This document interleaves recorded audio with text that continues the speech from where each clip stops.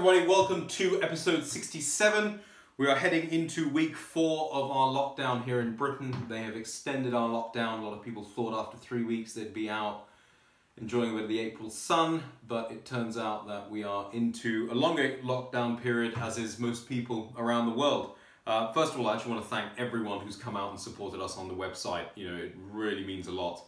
You know, so thank you to everyone who's ordered off the website. We've shipped you know, to locations that we've never even shipped before today. I think we did one to Wisconsin in the, in the US, so it's another state off our list. So thank you very much to everyone who's come on and supported us. It really, really means a lot.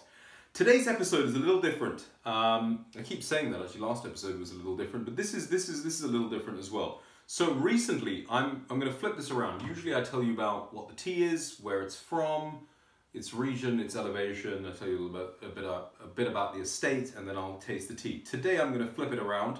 I'm going to do the tea first and then I'll come on to what this tea is.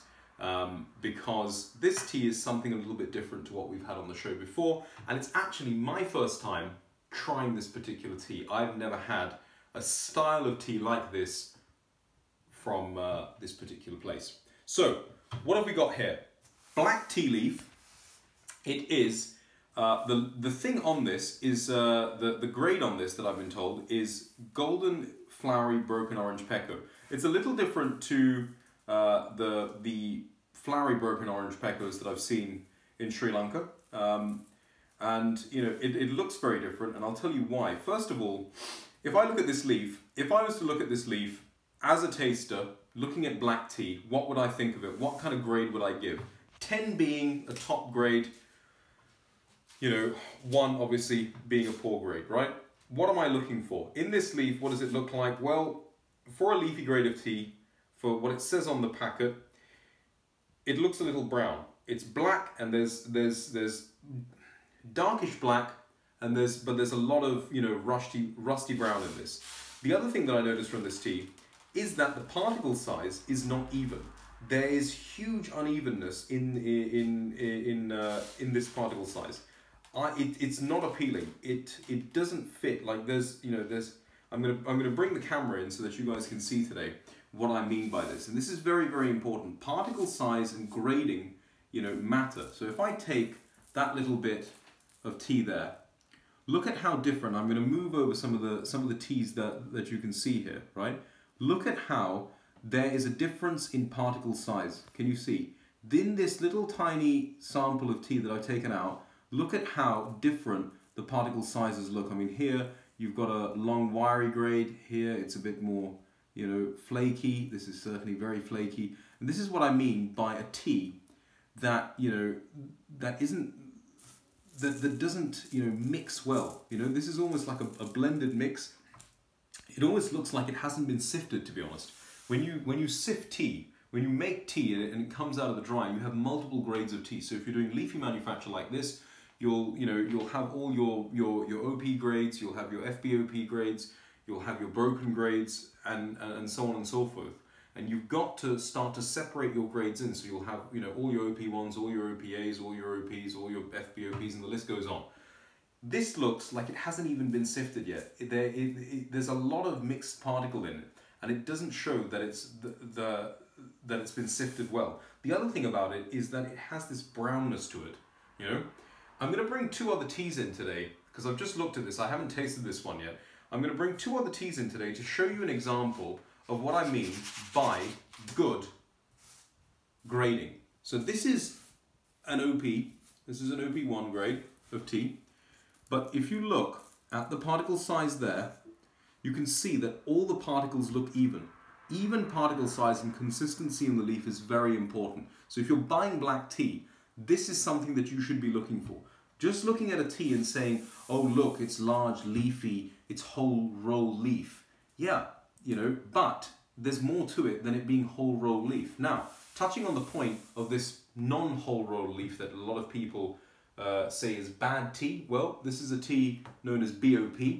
Um, this is a typical grade of tea that we make up country Sri Lanka. Smaller particle size, but if you want the strength, if you want color, if you want, uh, if you want a lot of flavor at teas that grow at a higher elevation, you want to go for a smaller particle size. So if you look here, again, you know, yes, this is BOP, but look at the particle size. Everything is even. You don't have any uneven particles in this type of tea.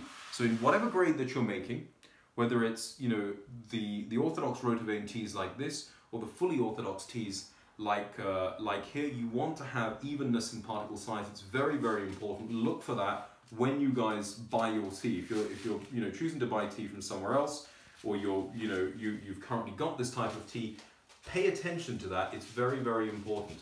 I'm just going to put this tea away, and I'm going to put this one away, and I'm going to get on to the tea that we've got at hand today. So, marks out of 10 for the leaf. Do you know what? I'm going to give it about a 5. I'm going to give it a 5. I'm going to give it a middle of the road. It's not terrible. It's not stalky. So if we, if we were to say why, why, why wouldn't it be terrible? There's a little bit of stalk here that I've, that I've picked out. You know, it's not stalky. It, it's, it's not littered with stalk. Um, it's not completely brown. And in terms of smell, is there much of an aroma coming off it? A little bit of a biscuity smell coming off it in all fairness. Nothing much. Um, give it a five, man. Doesn't pop out and say, hey, I'm a really good tea, but at the same time it doesn't say, hey, I'm a really bad tea. Just off the leaf.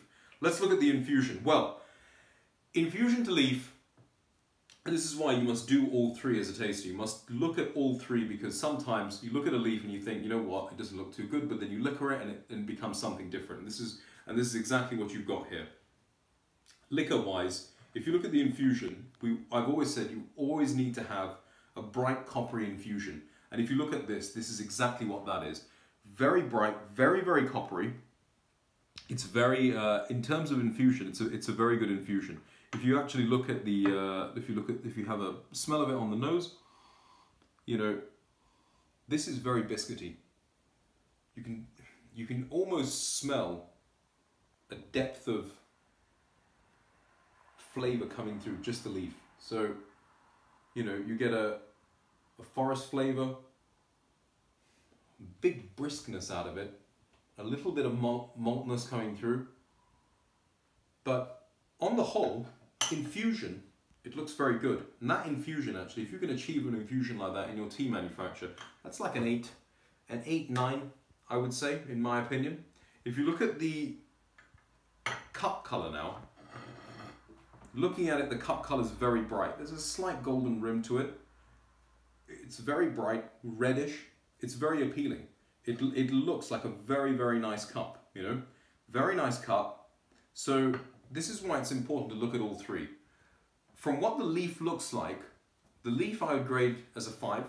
This I would grade as an 8. I haven't tasted this yet, but this looks good, you know?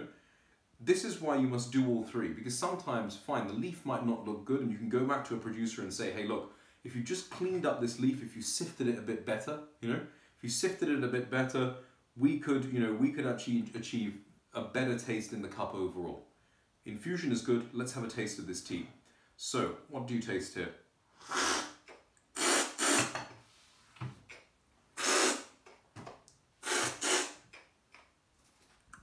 It's very brisk.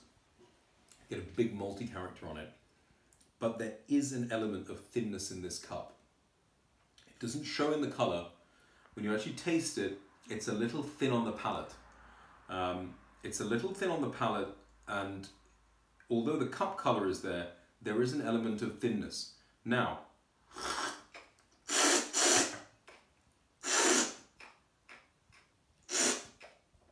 what is this tea? Bit thin. What is this tea? This tea is actually, it's not a Ceylon. we have a lot of Ceylons on the show. This is actually a Kenyan tea. Now, Kenya is the world's largest exporter of black tea. Kenya is the, the world's third largest producer. It's the world's first largest exporter. It overtakes Sri Lanka simply because it's a larger country. It produces more tea. It does not produce a lot of this tea because the majority of Kenyan teas actually produce CTC, cut, tear and curl. Now this is the type of tea, if you're, if you're in the UK, a lot of people still assume that a lot of their tea comes from India, it comes from Ceylon. The majority of teas that come to the UK do not come from India, Ceylon, they come from East Africa, and a lot of them have Kenyan, uh, Kenyan uh, leaf in them. Kenya makes a lot of CTC tea, and when you look at a Kenyan CTC, I think, I think, I think Kenya does wonderful CTCs. They're very bright, they liquor very fast. I don't think Sri Lanka does good CTCs, and you know, once we tried to, we tried making a CTC blend for, for a client once, but to be honest, for the type of tea that they wanted, you have to use a Kenyan component. That you will not mimic that type of color and that type of character that you get from Kenya. Their teas are red, they're brisk, they're very strong. You just, for, you know, we, we, we can't make that type of CTC in Sri Lanka. I was speaking to a friend of mine in Colombo, he's an Indian, and he produces tea machinery, and he said to me, you know, his biggest market that he sees coming up um, for orthodox tea machinery, which is what we make, which is the type of tea that we produce in Sri Lanka, um, you know, the biggest threat to that market will actually be from Kenya in the future because the Kenyans are starting to move towards producing orthodox tea. And that is what you've got here. This is a Kenyan orthodox tea um, made in the Nandi Highlands. This is up in the Rift Valley in Kenya. So Nandi is a town south of Eldoret. So if you think of Nairobi, if you go west of Nairobi, up the main uh, road up there, you'll get to a town called Eldoret. If you go south of Eldoret into the Great Rift Valley, you will hit Nandi County. And this tea estate, Emrok Tea Estate, is in Nandi County. And it's one of the few uh, tea producing uh, estates that make orthodox tea. Now, a lot of orthodox teas like this from Sri Lanka go into the Middle East. They're southern made teas, so they're growing at a far lower elevation than, than what this Nandi is produced at. And they're going into the Middle East. And the Middle East look at leaf. They're not so much for liquoring market, but they look at leaf. And, and, uh, and, uh, and this is the main market for these southern teas in, in Sri Lanka. If Kenya came into the market, it would look at threatening that type of Middle Eastern uh, that type of Middle Eastern market. However, although I think there's a lot of potential in this tea, it's just missing a beat. It reminds me a little bit of a mid-grown Ceylon tea. So a tea from Kandy, that where we do where we do uh, orthodox orthodox tea manufacture there. In the cup, it tastes a little like a Kandy. It has it it has elements of briskness, but it, it just feels thin on the palate here. Hmm? It just feels thin on the palate. I can't help but think that it's partly thin on the palate because of this type of leaf. This is this open flaky leaf that is in this. I feel that if they rolled it a lot better, if they if they if they put this through the roller, if they rolled it a lot better, you would have a far far better tasting tea and you'd have a lot more flavor. This tea grows at about, if I'm not mistaken, it's about 2,000 meters. If I haven't got my conversion wrong, it's about 6,000 feet, which is around the elevation of a Nuwara Eliya. You will never get the thickness of this cup in a Nuwara Eliya. A Nuwara Eliya will be, will be light. You know, you will not get this kind of color coming out of a Nuwara Eliya tea. This is a very interesting tea, and I think for Ceylon tea producers, it really opens your eyes to think, you know, what competition is doing around the world. If you're Kenyan, I think there's a lot of potential in this tea. This really has, you know, opened my eyes, and I think that, you know, if they're able to, you know, perfect their manufacture, and over time, I'm sure they will, um, there is a lot that this that that this estate can do. You know, elevation, soil conditions, everything plays a part in how your tea tastes. And you know, part of the reason why I think this cup has such a nice color also is because Kenyan tea bushes are far younger than, than a lot of the tea bushes that you find in, in Sri Lanka. You know, some of our high-grown teas, you know, you've got bushes that are over 110 years old. Um, you know, still on plantations. Many plantations will have a 70-30 or 60-40 split between old seedling tea and VP. In Kenya, it's very different. They have complete VP teas because their industry mainly started and, and, took shape in the 50s and 60s where a lot of Sri Lankans actually went out and set up plantations uh, on, on, on, on you know, Kenyan land. So there's a lot of potential here in this tea. There's also a lot of potential for Ceylon producers who aren't making good tea to come back and say, hey, you know what? We have a very unique agroclimate being, being an island. We really must stop just producing thick, colory teas and really go for flavor.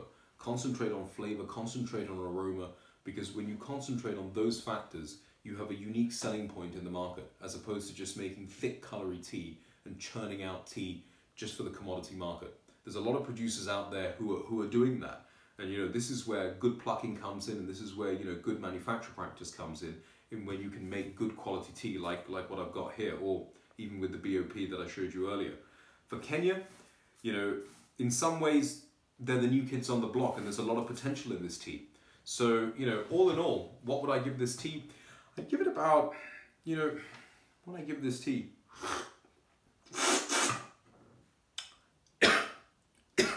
I don't have coronavirus. Some tea went down the wrong pipe. What would I give this tea? You know what? I'd give it plain. I'd give it about a six, seven.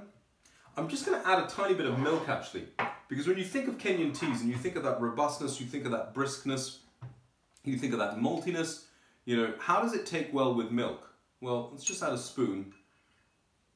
You know, surprisingly, look at the cup color. Very, very nice cup color coming out of it. It's almost golden, you know. For an orthodox tea, golden cup color, very appealing on the on, on the eye, you know. How does it taste it with milk? Well, mm, the milk does actually overpower it. You know, although it has that nice cup color, the milk actually does end up overpowering this tea. I think Emrok has a lot of potential. I think that you know the tea is there, but is it is it ready to move into the next league? Just not yet. I think with a little bit more perfection in their manufacture, they can turn this into a into a crapper tea. Um, you know, and and it's it's something I'm definitely going to keep my eye out for in the future because I think there's a lot of potential in this in this in this tea. I hope you guys are well. I hope you guys have been enjoying the PMD Tea Buyers Clubs. We've been able to do a lot more of these. Join me next Thursday. I'm going to be doing a live afternoon tea session from my kitchen. I'm hoping to have a friend on, but if not, join me. I'll be here 3 o'clock next Thursday. Facebook, go onto Facebook, jump onto Facebook Live. I'm going to be doing an afternoon tea session. I'll be tasting our breakfast, afternoon, and Earl Grey teas with foods that you have for afternoon tea. Simple foods, so we're going to be doing a cheese and tomato sandwich, uh, sweet scones, plain by the way, not, not cheese, uh, and a biscuit. Um, so simple foods that you can make at home. If you want, make the foods at home. Buy the teas online. We're doing our Planters Breakfast, uh, our Planters range of teas in 100 gram packets. Buy those, and I'm going to be doing a tea pairing session, and I'll also bring in three other teas to show you if you've liked, if you've enjoyed doing it with the Planters range of teas, what you can move on to next to try these simple foods in your house because no one is going for any afternoon tea let alone any of our 500 pound golden tip afternoon tea down at the Rubens. So jump on Facebook Live next week. I will see you then, and until then, stay safe and happy sipping.